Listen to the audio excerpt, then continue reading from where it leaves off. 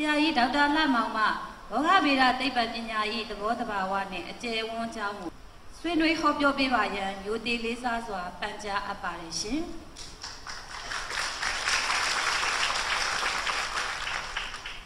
ကြွရောက်လာတဲ့ပုဂ္ဂိုလ်အားလုံးမင်္ဂလာပေါင်းနဲ့ပြည့်စုံပါစေလို့ဥစွာဆုတောင်းအပ်ပါတယ်။ဟောပြောမယ့်ကောင်းစဉ်များတော့ဘောဂဗေဒသိပ္ပံပညာရည်သဘောတဘာဝနဲ့အကျယ်အဝန်း။ ဆိုတော့ဘောဂဘာသာရဆိုတာအလွန်ကျယ်ပြန့်ပါတယ်။ဒီကျယ်ပြန့်တဲ့ဘာသာရကိုနော်လူတွေသိတာသိနေပါခုနဥက္ကဋ္ဌလည်းပြောသွားပြီးပါတယ်။ဒါကြောင့်မလို့ကျွန်တော်ဒီပညာရခဲ့ဒီလူတွေအတွက်နေ့စဉ်အသုံးဝင်မှုလူအဖွဲ့အစည်းတွေရဲ့နေ့စဉ်အသုံးဝင်မှုလုပ်ငန်းတွေရဲ့နေ့စဉ်အသုံးဝင်မှုအစိုးရအဖွဲ့ရဲ့နေ့စဉ်အသုံးဝင်မှုတွေမှာအသုံးပြုရတဲ့ဒီပညာရပ်တွေကိုလူသိနေတာဟာကျွန်တော်တို့ မြန်မာလူအရေးသားတွေကလည်းပဲသိမရှိပါဘူးကျွန်တော်တို့ဒီဟောပြောတဲ့အခါမှာလည်းသူသက်ဆိုင်ရာဘာသာရပ်အတိုင်းဟောပြောကြတယ်ဆိုလိုတာကတော့ကျွန်တော်တို့ဘောဂဗေဒရမှာဘာသာခွဲတွေအများကြီးရှိပါတယ်အလွန်ကျယ်ပြန့်ပါတယ်အဲ့ဒါကိုတချို့လောက်ပဲပြောပြီးတော့အများစုကိုခြုံငုံပြီးပြောတာမရှိတဲ့အတွက်ကျွန်တော်တို့လူသိနေတဲ့အတွက်ဒီလူသိများအောင်စပြီးတော့ကျွန်တော်တို့လောက်ကြမယ်လို့အဖွဲ့အဆုံးဖြတ်တဲ့အတွက်ကျွန်တော်တို့ဒီမှာလာပြီးတော့ဆွေးနွေးရခြင်းလည်းပဲဖြစ်ပါတယ်။ နော်အလွန်ကျယ်ပြန့်တဲ့ဘာသာရပ်ကိုကျွန်တော်မိနစ်20ပေးပါတယ်။အဲ့ဒီမိနစ်20ထဲမှာကျွန်တော်အကျုံးဝင်အောင်ပြောပြပါမယ်။ကျွန်တော်တို့ဘောဂဗေဒရပ်ကကျွန်တော်တို့ဒီလူမှုရေးပထမဆုံးကသိပ္ပံပညာရလို့ကျွန်တော်ကခေါင်းစဉ်မှာကဘောဂဗေဒသိပ္ပံပညာရဆိုတော့သူကဘာသိပ္ပံပညာရလဲဆိုတော့ကျွန်တော်တို့ကလူမှုရေးသိပ္ပံပညာရဖြစ်ပါတယ်။ဟောလူမှုရေးသိပ္ပံရဆိုတာလူမှုရေးသိပ္ပံပညာရထဲမှာလည်းအစားပညာ ရတွေအများကြီးရှိပါတယ်။တချို့ပြဿနာရတွေကိုဖြေရှင်းတဲ့အခါမှာကြတော့ဟိုတခြားလူမှုရေးသိပ္ပံပညာရတွေနဲ့ခက်စင်စင်တူပေနဲ့သူအသုံးပြုတဲ့နီးနာတွေနဲ့နော်အတွေးခေါ်တွေကတော့တခြားဘာသာရပ်တွေနဲ့များစွာခြားနာပါတယ်။နော်သူ့ရဲ့ကျွန်တော်တို့ဒီဒိဗ္ဗေကိုဖွင့်ဆိုမယ်ဆိုတော့ကျွန်တော်ကအချင်းချင်းမိပြောရတော့တခြား definition တွေနဲ့တူရင်မှတူပါပဲ အဲ့တော့ကျွန်တော်ဆိုလို့ချင်းတဲ့ဘောဂဗေဒဆိုတာဘာလဲဘောဂဘာသာဆိုတာရှားပါမှုပေါ်မှာအခြေခံပြီးတော့ရွေးချယ်မှုကိုလေ့လာတဲ့ပညာရဖြစ်ပါတယ်အဲ့တော့ဘာဖြစ်လို့ခြားနာလဲဘာဖြစ်လို့ရွေးချယ်မှုကိုကျွန်တော်တို့ကလုပ်ရတယ်လဲဆိုတော့ပထမဆုံးကျွန်တော်တို့သိဖို့လိုတာကတော့ကျွန်တော်တို့တွေကဘယ်လုပ်ငန်းမှာလုပ်လို့အခြေခံတစ်ခုကိုကျွန်တော်တို့သိဖို့လိုပါတယ်။တစ်ခုက ဘာလဲဆိုတော့ကျွန်တော်က necessary condition လို့ခေါ်တဲ့လိုအပ်ချက်တွေကိုကျွန်တော်တို့သိဖို့လိုပါတယ်။နောက်တစ်ချက်က sufficient condition ဆိုတာကိုသိဖို့လိုပါတယ်။လုပ်ငန်းတွေအောင်မြင်ဖို့ဆိုရင် necessary condition နဲ့ sufficient condition ကိုသိဖို့လိုပါတယ်။အဲ့တော့ကျွန်တော်တို့ဘောဂဗေဒပညာရမှာကျွန်တော်တို့စပြီးတော့ဂုဏ်ဒုဒမှာသင်နေရဒါကိုကျွန်တော်တို့ကိုစတင်ပါဘယ်လိုသင်လဲဆိုတော့ဟောကဗေဒဆိုတာကျွန်တော်တို့ လူတွေရဲ့အသက်ရှင်ဝမ်းကြောင်းအတွက်အလုပ်လုပ်တဲ့ပညာရဖြစ်တယ်ဒါလူတိုင်းပါပဲအဲ့တော့ဘာတစ်ချက်ဘာဖြစ်လဲကျွန်တော်တို့ကလူရင်းဆန္ဒတွေလူတိုင်းမှာအများကြီးရှိပါတယ်ကျန်တဲ့ကျွန်တော်တို့ဒီသူ့ရဲ့သဘောတဘာဝကိုကျွန်တော်တို့ပထမဆုံးပြောမယ်ဆိုရင်ကျွန်တော်တို့ဒီလူအဖွဲ့အစည်းတရားအနေနဲ့လူရင်းစန္ဒရီမန်းချက်တွေကအကန့်အသတ်မရှိဘူး။ဘာတွေကအကန့်အသတ်ရှိနေလဲဆိုတော့ အင်အားစုတွေပေါ့။နော်အင်အားစုတွေကအကန့်အသတ်ရှိနေပါတယ်။ဒီအကန့်အသတ်ရှိနေတဲ့အင်အားစုတွေကိုကျွန်တော်တို့ကနော်ဘယ်လိုသုံးမလဲ။အဲ့တော့လေ့လာတဲ့ဆိုတွေကကျွန်တော်ဒီလူရင်းစန္ဒများနေတယ်သူ့ကိုဖြည့်စွမ်းတဲ့အင်အားစုတွေကရှားပါနေတယ်။ဒါတွေကတော့ကျွန်တော်တို့လေ့လာမဆိုဒါအဓိကလိုအပ်ချက်ပဲဖြစ်ပါတယ်။ ဒါပေမဲ့လိုအပ်ချက်စီတိုင်းလည်းမရသေးပါဘူး။သူကလုံလောက်တဲ့အချက် sufficient condition ဆိုတာရှိဖို့လိုပါသေးတယ်။အဲ့တော့ဒီလိုအပ်ချက်တစ်ခုတည်းနဲ့ကျွန်တော်တို့ကမပြည့်စုံတော့ကျွန်တော်တို့က sufficient condition ကိုကျွန်တော်တို့ရှားပါတယ်။ဘာလဲဆိုတော့လူရဲ့လူရင်ဆန္ဒကိုကျွန်တော်တို့ရွေးချယ်ရပါထို့အတူပဲဒီရွေးချယ်ထားတဲ့လူရင်းဆန္ဒတွေကိုဖြစ်စွမ်းဖို့အတွက်အင်အားစုကအင်အားစုဆိုတာကျွန်တော်ကတမျိုးတည်းအသုံးတာမဟုတ်ဘူးအင်အားစုကိုသူအတွဲ လိုက်သုံးတာ land labor and capital ပေါ့ land labor and capital ကိုအတွဲသုံးတယ်ဆိုတာအတွဲအမျိုးမျိုးသုံးလို့ရပါတယ်နော်လုံသားများတဲ့နိုင်ငံက labor intensive ကိုလုပ်ငန်းတွေသုံးမယ် capital များတဲ့နေရာ capital အစရှိတဲ့အမျိုးမျိုးအဖို့ဖို့အပြန်အလှန်သုံးနိုင်တဲ့ဟာတွေရှိတယ်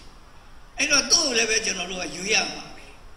အဲ့တော့ယူရတဲ့အခါမှာခုနပြောသလိုဦးစားပေးမှုတွေကိုအစဉ်စဉ်လိုက်လုပ်ရသလို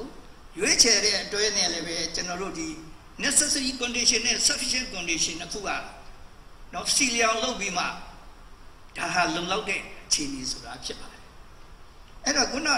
နှစ်ခုဆက်ပြီးတော့ခုနပြောသလို economic ဆိုတာရှားပါမှုပေါ်မှာအခြေခံပြီးရွေးချယ်မှုကိုလေ့လာတဲ့ပညာရဆိုတာကျွန်တော်လူတိုင်းနေ့တိုင်းတွေ့ကြုံနေရတဲ့ပြဿနာတွေဖြစ်ပါတယ်လူတိုင်းလည်းတွေ့ကြုံနေရတယ်လုပ်ငန်းရှင်တွေလည်းတွေ့ကြုံရတယ်အစိုးရမှာလည်းပဲတွေ့ကြုံနေရတယ် နောက်ဥပမာဆိုလို့ရှိရင်ကျွန်တော်တို့အချိန်နဲ့ပတ်စံအချိန်ကတစ်နေ့မှာ24နာရီပဲကျွန်တော်တို့တကယ်ကျွန်တော်တို့သုံးနိုင်တဲ့အချိန်ကအဲ့24နာရီတည်းကဘယ်လောက်ပဲရှိ2နာရီ3နာရီပဲရှိပါတယ်။ဘာဖြစ်လို့လဲဆိုတော့နော်အလုပ်လုပ်တဲ့အချိန်တွေတုံမယ်ကျွန်တော်တို့စားတော့လုပ်တဲ့အချိန်တွေတုံမယ်နော်တကယ်အဲ့ဒါတွေအကုန်လုံးသွားလာလာလာနှုတ်လိုက်မယ်ဆိုကျွန်တော်တနေ့မှာ2နာရီ3နာရီပဲအချိန်ရှိပါတယ်။ ဒီအချိန်2နာရီ3နာရီတည်းကိုကျွန်တော်ဘာလုပ်မလဲကျွန်တော်တို့ရုပ်ရှင်လည်းကြည့်ကျင်တယ်ဘောလုံးပွဲလည်းကြည့်ကျင်တယ်စာလည်းဖတ်ကျင်တယ်ကျွန်တော်တို့မလုံလောက်ပါဘူးဒီထက်ကကျွန်တော်တို့မိမိစိတ်ကြိုက်နော်မိမိရဲ့စန္ဒကိုအကောင်းကျွန်တော်တို့ကတော့ခုနပြောသလိုပါပဲကျွန်တော်တို့ကအကောင်းဆုံးဆိုတဲ့စကားလုံးမသုံးပါဘူးကျွန်တော်တို့ကအနေတော်ဆိုတဲ့စကားလုံးပဲသုံးပါတယ်အနေတော်ဆိုတာရှိတဲ့အချိန်မှာအသင့်လျော်ဆုံးပဲဖြစ်ပါတယ် အဲ့တော့ကျွန်တော်တို့ရွေးရတော့ပါအဲ့တော့ဒါလူတိုင်းတွေ့နေတာပဲနော်ဒီနှစ်နာရီလောက်ကြာနေတဲ့အထက်ကကျွန်တော်တို့ဘာသုံးလဲတချို့ကိုဆွတ်လွတ်လိုက်ရမှာဘာဖြစ်လို့လဲဆိုကျွန်တော်ဆန္ဒကများနေတာ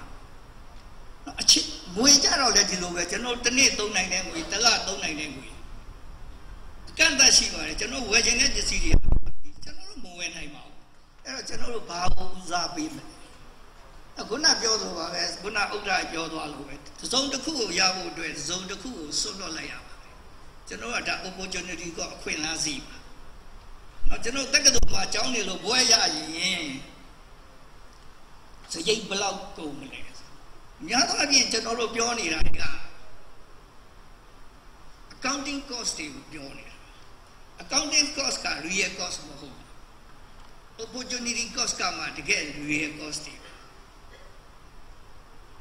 အဲ့တော့ opportunity cost ဆိုတာဘာလဲဆိုရင်တကယ်လို့တက္ကသိုလ်မှာဘွဲတစ်ခုရဖို့အတွက်၄နှစ်ကြာတယ်အဲ့ဒီ၄နှစ်မှာအလုပ်လုပ်ချင်ရမယ်ပတ်စံကတကယ် opportunity cost ပါခင်ဗျာဘွဲတစ်ခုရဖို့အတွက် accounting cost ကိုပြောတာမဟုတ်ဘူးသူအဲ့ဒီ၄နှစ်မှာရမယ်စွန့်လွတ်လိုက်ရတဲ့ငွေကိုမှကျွန်တော်တို့ကအခွင့်အလမ်းစီလို့ပြောပါတယ်။ဒါလည်းပဲကျွန်တော်တို့အဖွဲ့အစည်းတွေလိုက်တွေ့နေရတယ်အစိုးရလည်းတွေ့နေရတယ်။ဥပမာမြို့နယ်တစ်ခုမှာ သူတနည်းဘတ်ဂျက်ချပေးလိုက်တယ်သူကကျောင်းလဲစောက်ချင်တယ်လမ်းလဲဖောက်ချင်တယ်ဆေးရုံလဲစောက်ချင်တယ်သူမလုံလောက်ပါဘူးသူရွေးရပါတော့မယ်သူမြို့နယ်အတွက်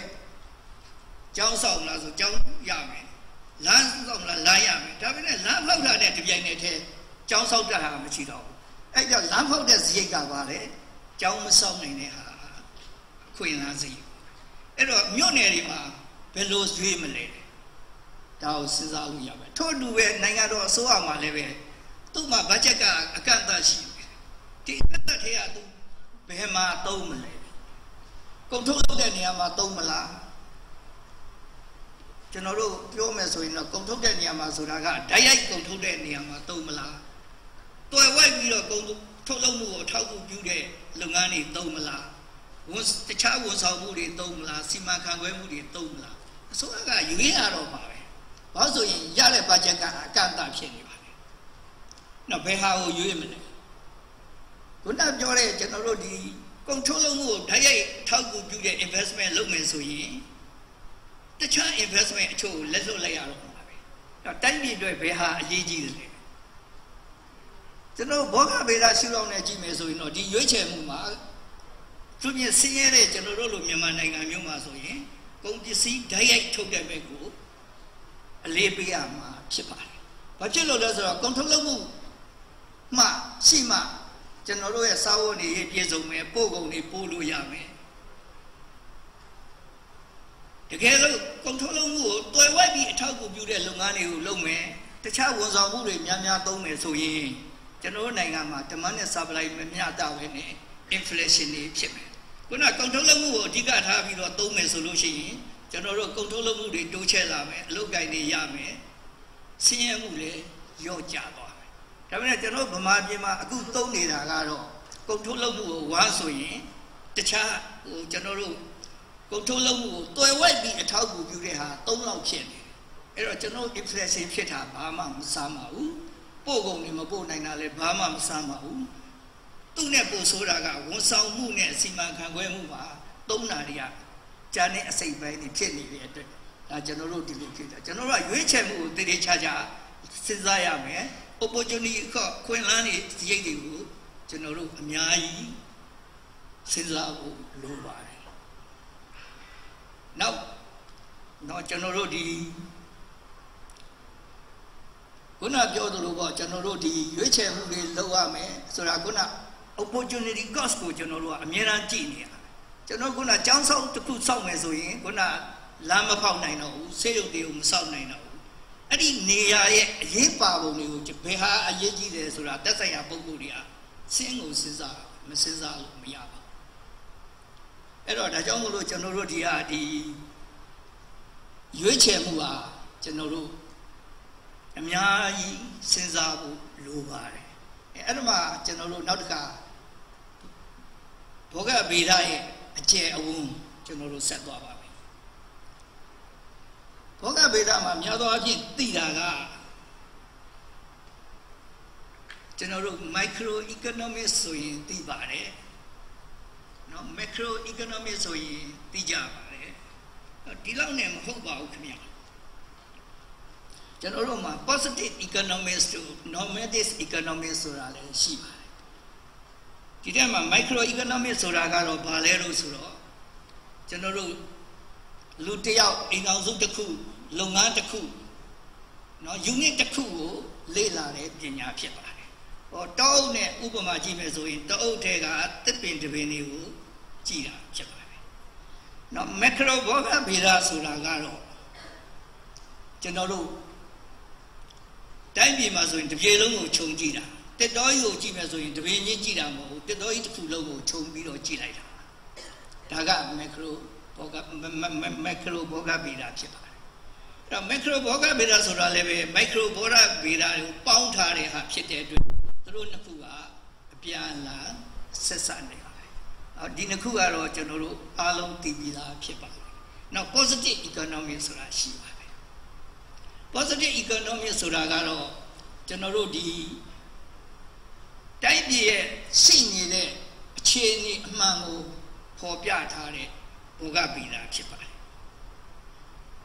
normative economy ဆိုတာကကျွန်တော်တို့တို့နှစ်ခုကကျွန်တော်တို့ဟိုဘာသာပြန်တာမရှိသေးလို့ကျွန်တော်အင်္ဂလိပ်လိုပဲသုံးလိုက်တာပါဒီတိုင်းပဲကျောင်းမှာစာသင်တော့လည်းဒီစကားလုံးတွေပဲသုံးခဲ့တဲ့အတွက်ဒီတိုင်းပဲသုံးတာသူကတော့ဖြစ်သိဖြစ်ထိုက်တာကိုလေ့လာ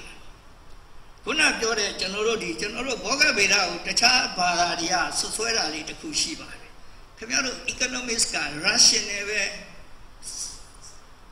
စဉ်းစားတယ်ကျန်တဲ့ဟာတွေမှာဘာမှမစဉ်းစားဘူးပြောပါတယ်အဲ့ဒါမဟုတ်ပါဘူးသူတို့ကခုနပြောတဲ့ macro နဲ့ micro နဲ့ positive economics ကိုပဲသိလို့အဲ့ဒီဟာပဲပြောတာပါကျွန်တော်တို့ဘောဂဗေဒ rational နဲ့ပိုပါတယ်ဆိုတော့ positive economy မှာဆိုလို့ရှိရင်အလွယ်ကူဆုံးပြောမယ်ဆိုရင်ကျွန်တော်တို့ တရားတစ်စင်းကျွန်တော်တို့စောင့်မယ်တရားတစ်စင်းစောင့်တဲ့ရည်ရွယ်ချက်ကဘာလဲကျွန်တော်ဒီထဲမှာကုံစီတွေနဲ့လူတွေများများသွားဖို့အတွက်နော်သူစောင့်ခြင်းဒီအကျိုးအမြတ်အများဆုံးရအောင်လူတွေကုံစီတွေအများဆုံးသွားတဲ့နေရာမှာစောင့်စောင့်ပါဖြစ်ပါတယ်ဒါပေမဲ့ကျွန်တော်တို့အစွန်ဖြားကြတဲ့နေရာမှာစောက်ဖို့မစောက်ချင်တော့ ဘာဖြစ်လို့ဆိုတော့အဲ့ဒီမှာတနေ့မှာကားနှစ်စီးသုံးစီးမှဖြစ်တော့ ration လည်းမဖြစ်ဘူးအကျိုးအမြတ်မရဘူးဒါပေမဲ့နော်အဲ့ဒီနေရာမှာလဲစောက်တင်ပါတယ်ဘာဖြစ်လို့လဲဆိုတော့ positive economy ဆိုတာကခုနပြောတဲ့ business နဲ့အတူတူပါပဲနော်သူအကျိုးအမြတ်ရဖို့တခုတည်းကိုပဲသူကြည့်တာဒါက ration နဲ့ဒီတခုတည်းဖြစ်ပါတယ် ကျွန်တော်တို့ nomadic economy ကြတော့အဲ့ဒီလိုမဟုတ်ဘူးသူကဖြစ်တင်ဖြစ်ထိုက်တာကိုလုပ်တဲ့ economy ဆိုတာခုနပြောတဲ့ဝေးလာခေါင်းမတွေနေရာမှာဒီတရားဆောက်ခြင်းအဖြစ်ကျွန်တော်တို့ခုနပြောတဲ့စီးပွားရေးအကျိုးအဖြစ်ရခြင်းမှရမယ်ဒါပေမဲ့တခြားအကျိုးကျေးဇူးတွေအများကြီးရနိုင်ကျွန်တော်တို့လူနည်းစုတွေလူများစုတွေနဲ့ဖွဲ့ထားတဲ့တိုင်းပြည်မှာဆိုရင်စီလုံးရေးလို့နော် ကျွန်တော်တို့ဒီလမ်းမဆက်သွယ်ရေးကောင်းလာတဲ့အခါအဲ့ဒီကလူတွေရဲ့အတွေ့အခေါ်အမျှော်မြင်တွေတိုးလာမှာတို့လုံခြုံရေးတို့အစရှိတဲ့အကျိုးကျေးဇူးတွေကိုရမှာဒါကဘောဂဗေဒပြင်ပအကြောင်းအရာတွေကိုပါစဉ်းစားတာဖြစ်ပါတယ်ဒါကြောင့်မလို့ nomadic economy ကိုကျွန်တော်တို့မသိတဲ့အခါကျတော့ဘောဂဗေဒဟာ ရာရှင်နယ်တစ်ခုပဲစဉ်းစားတယ်တခြားလူမှုရေးကိုမစဉ်းစားကျွန်တော်တို့ဘောဂဗေဒဟာတိတ်ပပညာရဖြစ်တဲ့အတွက်နော်ဒီလူအဖွဲ့အစည်းကိုစဉ်းစားတာဆိုတော့ခုနဥကြုံမင်းပြောပြောဆိုကျွန်တော်လူတွေရဲ့အကောင်းကျိုးအတွက်ကိုအများကြီးစဉ်းစားတာဥပမာတစ်ခုဆိုလို့ရှိရင်ကျွန်တော်တို့ဒီဘောဂဗေဒမှာဘာသာရပ်ကွဲတွေအများကြီးရှိတဲ့အထက် special economy ဆိုတာက net ကျွန်တော်တို့ net ပဲဆိုင်ရာဘောဂဗေဒလို့ဘာသာပြန်ထားပါ တယ်ဟော net ပဲဆိုင်ရာစီမံကိန်းဆိုတာတနိုင်ငံလုံးအတိုင်းအတာရှိတယ် data အတိုင်းအတာ data အတိုင်းအတာဆိုတာက regional plan လို့ဆိုတာပါနောက် local ဆိုရင် town planning ဆိုတာရှိပါတယ်ဟောကျွန်တော်ပညာသင်ခဲ့တဲ့ပိုလာနိုင်ငံမှာဆိုရင်1962ခုနှစ်ထဲက special planning act ဆိုတာရှိပါတယ်အဲ့တော့မှတိုင်းတစ်ပြည်နဲ့အတိုင်းအတာဒေသအတိုင်းအတာမြို့နယ်အတိုင်းအတာသူကတကယ်တော့အဲ့တော့မှအဲ့ဒီပညာရကဘလောက်ထိလူတွေကို ဦးစားပေးတယ်ဆိုတော့ तू ကလူနဲ့ပိုင်ဝန်းကျင်ရဲ့အညမညဆက်ဆက်မှုကို तू ကဦးစားပေးတယ်အဲ့ဒီဥပဒေထဲမှာဘာတွေပါတယ်လဲဆိုရင်လူတစ်ယောက်ကသူနေရမယ့်အကျယ်ဝန်းကဘလောက်ရှိရမလဲသူနဲ့သူနေတဲ့နေရာရဲ့ပတ်ဝန်းကျင်ရဲ့အစိမ့်မြေဟာ green space ကဘယ်လောက်ရှိရမလဲသူနဲ့သူနေတဲ့နေရာနဲ့အလောက်ကင်သွားတဲ့နေရာဘယ်လောက်ပဲကွာဝေးရမလဲအစရှိသဖြင့်လူတွေရဲ့ လူနဲ့ပတ်ဝန်းကျင်နဲ့ခုနပြောတဲ့ကျွန်တော်တို့ဒီအညမညဆက်သွယ်မှုကောင်းအောင်ဆိုတာကိုစဉ်းစားရတယ်ပညာရဖြစ်တယ်ဒါကြောင့်မလို့ကျွန်တော်ခုနပြောလို့ပဲဘောဂဗေဒပညာပညာရဆိုတာလူတွေရဲ့နော်နေရေးထိုင်ရေးစားရေးတောက်ရေးအကုန်လုံးအဆင်ပြေအောင်နော်နေ့စဉ်တွေ့ကြုံရတဲ့ပြဿနာတွေကိုဖြစ်ရှင်းတဲ့နေရာမှာတော့၎င်းလူတူးချင်းရမှာတော့၎င်းလူအဖွဲ့အစည်းတစ်ခုလုံးအနေနဲ့တော့၎င်းလုပ်ငန်းတစ်ခုအနေနဲ့တကောင်း နော်ကျွန်တော်တို့တကဘာလုံးအတွက်အခုဆိုရင်စီးပွားရေးတစ်ခုပြဿနာဖြစ်တယ်ဆို economic forum ဆိုတာပြီးလုပ်နေပါဒါတွေကတိုင်းပြည်တကဘာလုံးအတွက်ကောင်းအောင်လုပ်နေတာဒါကြောင့်မလို့ဘောဂဗေဒပညာကိုနားလည်တယ်ဆိုရင်မိမိတို့နေ့စဉ်တွေ့ကြုံရတဲ့ပြဿနာတွေကိုအလွယ်တကူဖြေရှင်းနိုင်ပါတယ်လို့ပြောကြရင်လည်းကျွန်တော်ပြောဆိုမှုကိုရန်နာလိုက်ပါ